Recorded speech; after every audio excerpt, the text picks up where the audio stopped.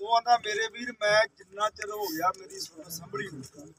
ਸਹੀ, ਮੈਂ ਅੱਜ ਜੇ ਕੋਈ ਰਾਜ ਭਾਗ ਕਰਨ ਵਾਲੀ ਧੇਰ ਆਈ ਤੇ ਤੇਰੀ ਮੈਂ ਸਾਰੀ ਜ਼ਿੰਦਗੀ ਜੇ ਵੇਖੀ ਆ, ਜਿਹੜੀ ਕੱਲੇ ਕੱਲੇ ਘਰ ਦਾ ਦੁੱਖ ਦਰਦ ਸਮਝਦੀ ਆ ਔਰ ਜਿਹੜੇ ਲੋਕ ਜਿਹੜੀ ਉਹਦੀ ਬੰਦੇ ਦੀ ਸੋਚ ਇੰਨੀ ਚੰਗੀ ਆ, ਉਹਨੇ ਹਰੇਕ ਘਰ ਨੂੰ ਉਹ ਕਹਿੰਦਾ ਸੁੱਖ ਦੇ ਦਿੱਤਾ ਦਿੱਲੀ 'ਚ।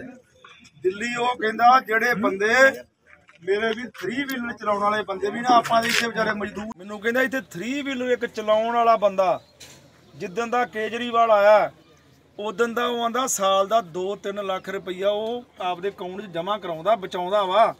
ਮੈਂ ਉਹਨੂੰ ਪੁੱਛਿਆ, ਕਿਵੇਂ? ਉਹ ਕਹਿੰਦਾ, ਯਾਰ ਬੱਚਾ ਉਹਦਾ ਸਰਕਾਰੀ ਸਕੂਲ 'ਚ ਪੜਨ ਲੱਗ ਪਿਆ।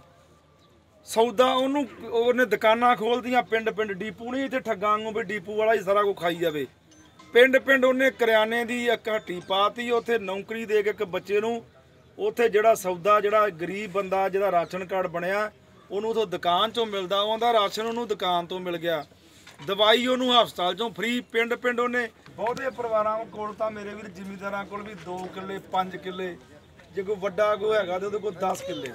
ਐਦੋਂ ਵੱਧ ਆਪਣੇ ਕੋਲ ਜ਼ਮੀਨ ਨਹੀਂ ਰਹਿ ਗਈ। ਤੇ 10 ਕਿੱਲੇ ਵਾਲੇ ਬੰਦੇ ਨੂੰ ਪੈਸੇ ਕਿੰਨੇ ਆਉਂਦੇ ਆ? 5 ਲੱਖ ਰੁਪਈਆ ਆਇਆ। 5 ਲੱਖ ਚ ਉਹਨੇ ਮੇਰੇ ਵੀਰੋ ਆਪਣੇ ਕੇ ਬੱਚੇ ਦਾ ਵਿਆਹ ਵੀ ਕਰਨਾ ਉਹਨੇ ਬੱਚੇ ਵੀ ਪੜਾਉਣੇ ਆ ਉਹਨੇ ਮੇਰੇ ਵੀਰ ਬਿਮਾਰੀਆਂ ਨਾਲ ਵੀ ਜੂਝਣਾ ਹੈ। ਉਹ ਬੰਦਾ ਆਪਾਂ ਮੇਰੇ ਵੀਰ ਖੁਰਦਿਆਂ ਖੁਰਦਿਆਂ ਖੁਰਦਿਆਂ ਖੀਰ ਖੁਰ ਜਾਣਾ ਆਪਣੇ ਕੋਲ ਬਚ ਬਚਦਾ ਕੀ ਹੈ?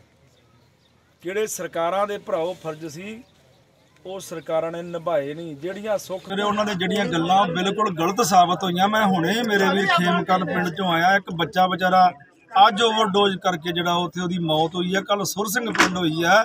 ਮੈਂ ਕੈਪਟਨ ਅਮਰਿੰਦਰ ਸਿੰਘ ਜੀ ਨੂੰ ਵੀ ਇਹ ਗੱਲ ਬੇਨਤੀ ਕਰਨੀ ਚਾਹਣਾ ਵੀ ਸੀਐਮ ਸਾਹਿਬ, ਤੁਸੀਂ ਲੋਕਾਂ ਨਾਲ ਵਾਅਦਾ ਕੀਤਾ ਸੀ ਬੋੜੀ ਰੱਬ ਦੀ, ਤੁਹਾਡੇ ਅੱਗੇ ਬੇਨਤੀ ਆ ਵੀ ਇਹ ਪੰਜਾਬ ਨੂੰ ਬਚਾਉਣ ਲਈ ਕੁਝ ਉਪਰਾਲਾ ਕਰੋ, ਜਿਹੜੇ ਤੁਹਾਡੇ ਕੋਲ 4-5 ਮਹੀਨੇ ਹੈਗੇ ਆ, ਜਿਹੜੇ ਤੁਸੀਂ ਲੋਕਾਂ ਨੂੰ ਗੁੜਕਾ ਸਾਹਿਬ ਹੱਥ ਵਿੱਚ ਫੜ ਕੇ ਇੱਕ ਵਿਸ਼ਵਾਸ ਦਿਵਾਇਆ ਸੀ, ਤੁਸੀਂ ਉਹ ਸਾਡੀ ਜਵਾਨੀ ਨੂੰ ਬਚਾਓ।